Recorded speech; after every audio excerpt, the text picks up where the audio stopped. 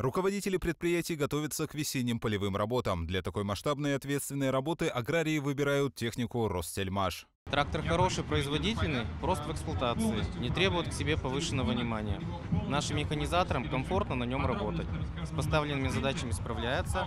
Качество трактора уже проверено временем и коллегами. Трактор за сезон способен отработать до 12 тысяч гектаров. С каждым годом техника дорабатывается и улучшается. На полях Кировской области часто можно встретить агромашины именно этого производителя. На выставке «Агровятка» компания «Ростельмаш» также представляет комбайны серии F 2000 и модель «Акрос 585».